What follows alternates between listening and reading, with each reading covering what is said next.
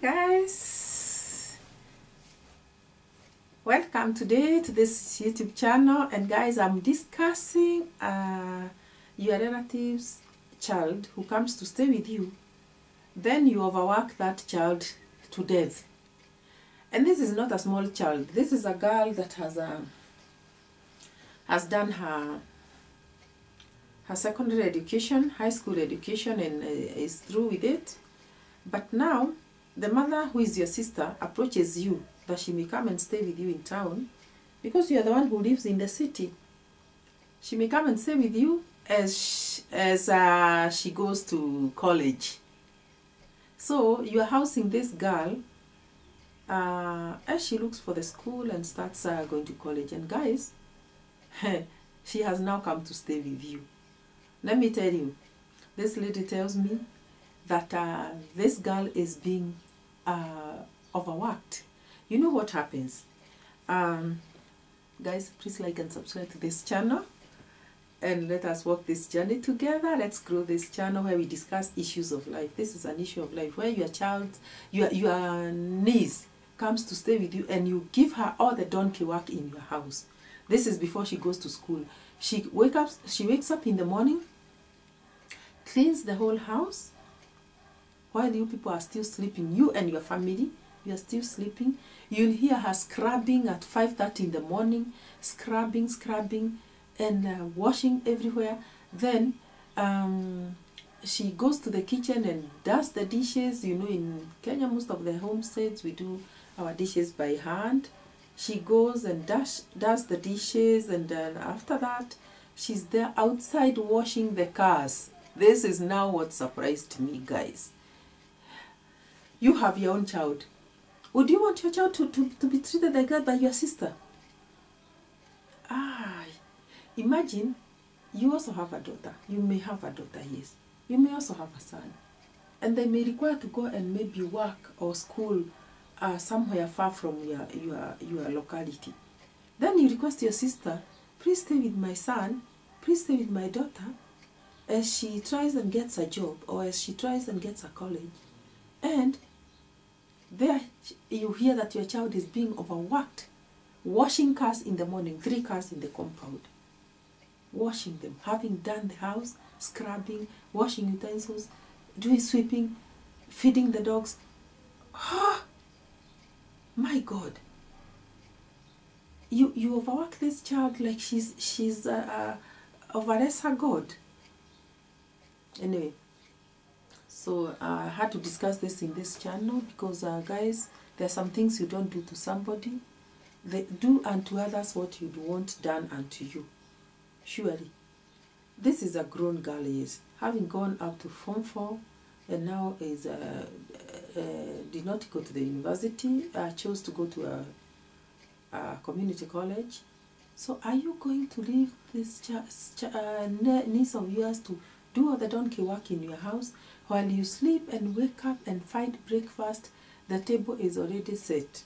So what happened is uh, this lady, uh, why I knew about this story is because um, one of the days she woke up and found the table, the table is not yet set for breakfast. And she started screaming everywhere. Why is, the, why is breakfast not made in this house?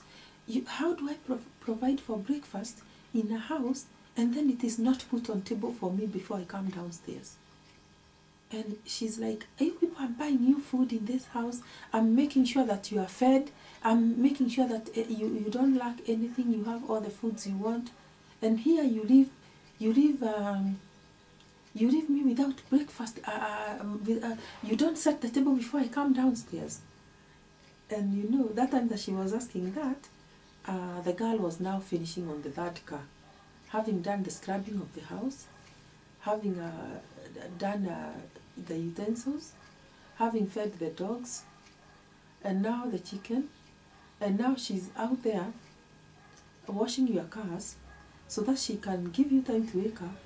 And before she uh, she uh, before you people wake up she have come to do the, the to set the breakfast table. So here you come.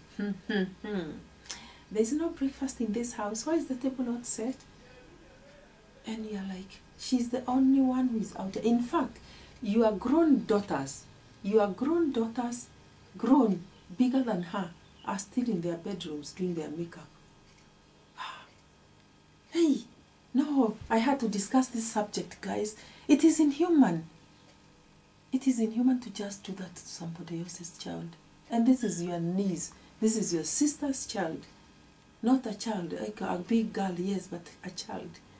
Here, you mistreat her, you misuse her. When your daughters are in their bedroom with their uh, mirrors doing, doing their makeup, and they all come downstairs and sit at the table to eat and drink, simply because you have accommodated her. Guys, this is not right. This is, uh, you're going to, to get yourself a curse from God.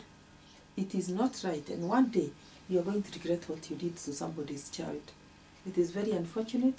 So this lady makes a lot of noise, and the lady is, the, the girl is like, Auntie, I was just coming to place the, I was just finishing on the third car, uh, washing, and then I come and, put, and you remember, this girl will, after, soon after that, go to school, go to class.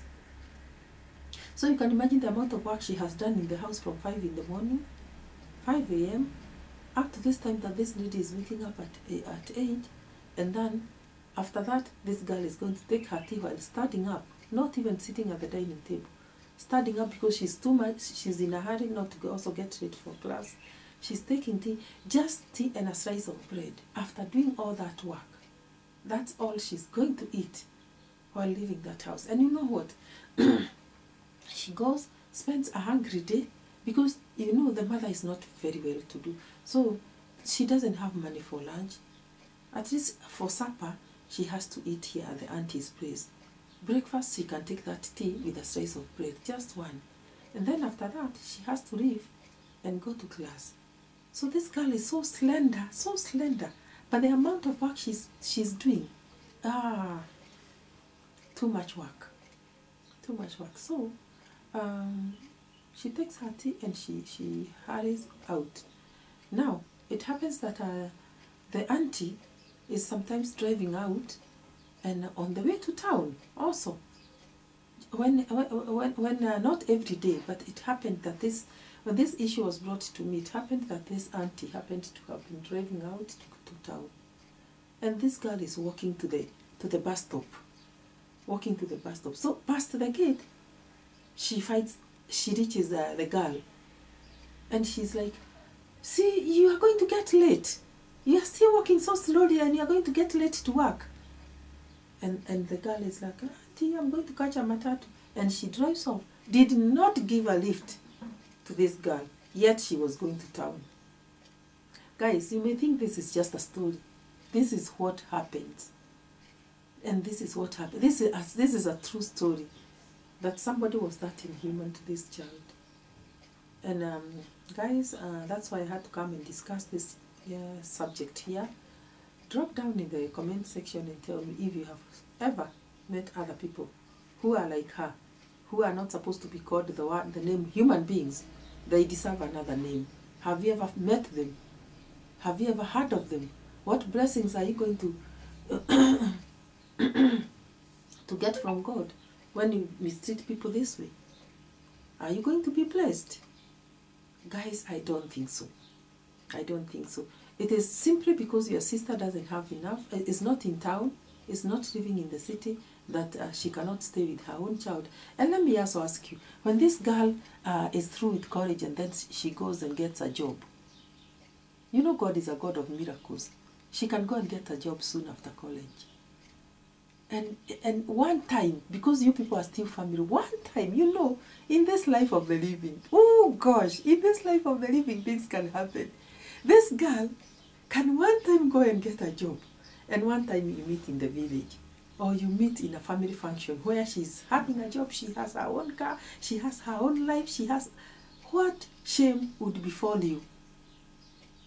Because God is a God who blesses, and God can bless this one that you tormented one time. Yes, she may be this young girl today without a job and with nothing, and trying to look for just a roof on top of her head in order that she goes to college. But let me tell you, one time God may bless her, she finishes, she gets a job, she gets a man to marry her, or not even a man, but she lives her life in the way the way a human being is supposed to live. then a function comes up and you meet in the village or at the venue of the function. What would you say? How ashamed would you be? Please treat somebody well because you don't know their tomorrow. Like and subscribe to this channel and we'll see you in the next one. Bye bye